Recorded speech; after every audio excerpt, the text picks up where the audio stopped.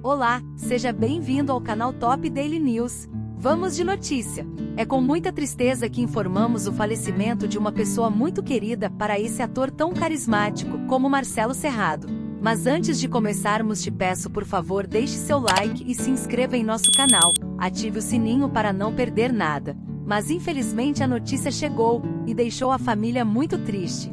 Era uma pessoa muito querida para eles. É com grande pesar que Júlia Cerrado, mãe dos atores Marcelo e Eduardo Cerrado, faleceu aos 74 anos de idade. A causa da morte não foi divulgada, mas sabemos que ela deixa uma família inteira enlutada. Marcelo Cerrado se inspirou muitas vezes em sua mãe, conhecido por seus papéis marcantes na televisão brasileira, sempre teve um amor profundo por ela. Em diversas entrevistas, ele contou como sua mãe o inspirou a criar o personagem da novela Fina Estampa.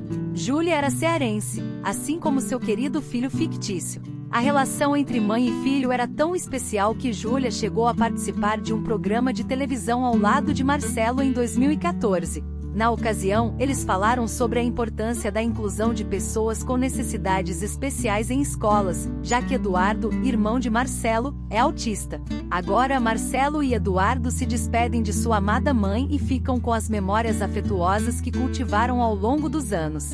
Júlia Cerrado será sempre lembrada como uma mãe amorosa, que inspirou não apenas seu filho famoso, mas também muitas outras pessoas com sua luta pela inclusão e igualdade. Descanse em paz, Júlia. Deixe seu comentário. E se você gostou desse vídeo, deixe seu like e compartilhe com seus amigos. E se inscreva no canal para não perder nada.